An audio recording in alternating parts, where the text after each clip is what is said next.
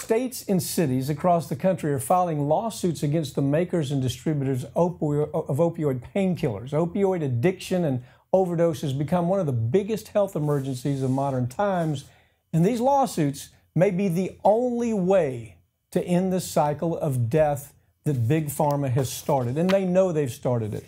Peter, I look at this lawsuit that's been filed in Kentucky. Mm-hmm. If you really distill what's happened in this lawsuit, what they're saying, they're saying that the, the industry knew that, the, that the, uh, they were creating pill mills, and they're saying that they knew that there was diversion taking place where it was being sold as a street drug.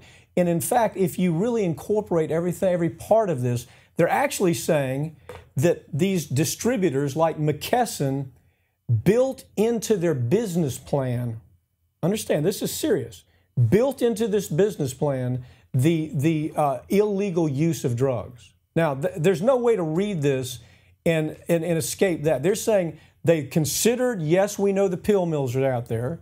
They considered, yes, we know we're selling 10 times the amount of drugs we should be selling.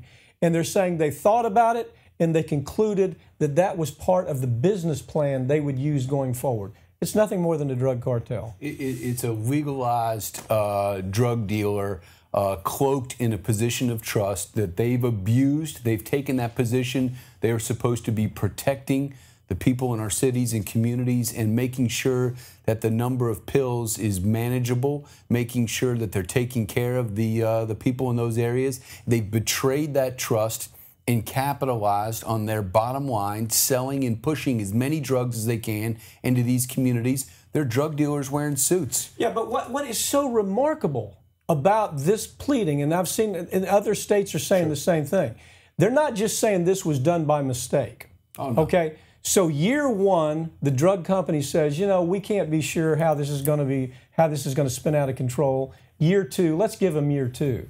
Year three, they're meeting in closed doors and they're saying, wow, look at how many drugs we're selling. Mm-hmm. And oh, by the way, one way we're selling drugs is through pill mills. Another way we're selling drugs is through street drugs. And you know what? Let's now make that part of our business plan. Right.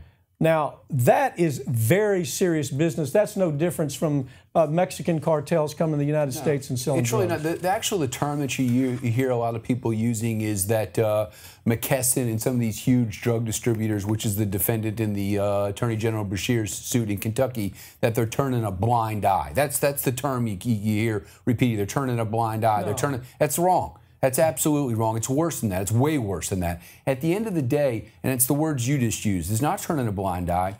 It's it's not only embracing the business model, but targeting those areas in the epicenter Appalachia, Ohio, West Virginia, Kentucky, Alabama, Georgia, all the way down to the Florida Panhandle, identifying those as target areas, capitalizing on those areas, and recognizing that's where we can make the most money all in a position of trust bestowed upon them by Congress. Okay, now let, let me throw this out here because everybody always misses this, okay?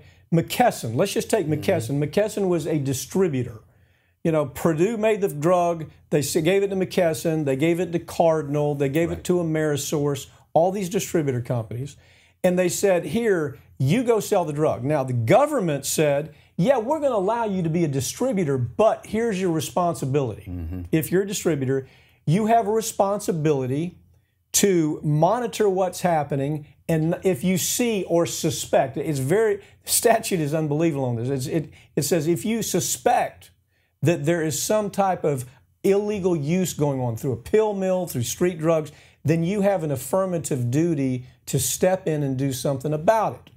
Now that's very clear. That's what the law is. Mm-hmm. now the, you have mckesson that went ahead and paid a $150 million fine in 2017, admitting that they didn't do that, that right. they, they, they did not comply with the statute. Because what they saw is they saw people right in the right in the cities. They saw McKesson, business opportunity. They saw yeah, a huge business opportunity, and so they said, "Well, we're going to get into the drug addiction right. business. Right. You know, that's going to be part of. We are now a drug, and, and we we what's crazy to me is we not only allowed them, but we gave them the ticket that said, "Here's your entry pass.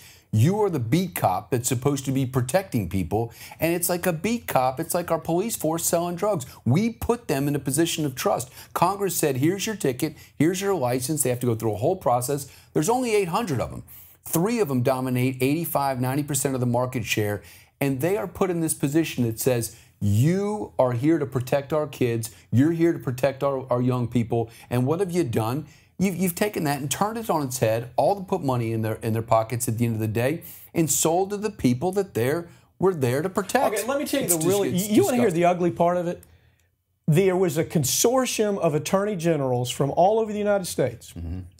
What year was it? They got together. They. Oh, it's said like 05, 06. 05, They said, "Well, we're going to solve this problem. We're we're really going to."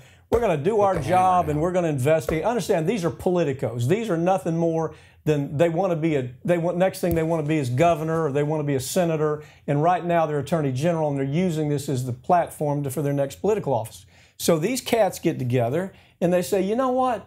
Let's let's uh, do let, let's see if we can do something about this. Well, they didn't really mean stopping the problem every attorney general that participated in that accepted a total of $25 million from these thugs, these corporate cabal criminals. They accepted $25 million as a settlement and let these criminals go free. They had all the information. They had the same information that these that, that we have today. Well, when you put it in perspective, uh, 25 million may sound like a like a bunch to some people. However, That's for the entire nation. That, that's exactly right. And McKesson's CEO, which is one of the big three, one of the ones with the uh, uh, the total of 85 to 90 percent market share, their CEO made a hundred and sixty million dollars. So divide that up. That's $13, 14 million dollars a month. So the fines for all three equaled a month and a half, two months pay for McKesson's CEO. Yeah. I mean, it's pencil money. Yeah, It's it's and, nothing. And you know the ugly part about it again? Those same attorney generals, the same scam, they're they're at it again. The attorney generals want to say, "Oh, we solved this problem. We we you know we made them pay 50 million this time." They've made 50 million dollars while you and I have been sitting here talking. The difference is this time that the communities and cities around the country, seeing what happened last time, seeing what happened in some of these other cases, and Don't- said, enough's enough. We're going to file our own claim. These are going to be community based solutions to fix community based problems, not letting AG, you know, stands Yeah. for aspiring governor, not let some politician come in and it fix away. it. We're going to push our own problems. Yeah.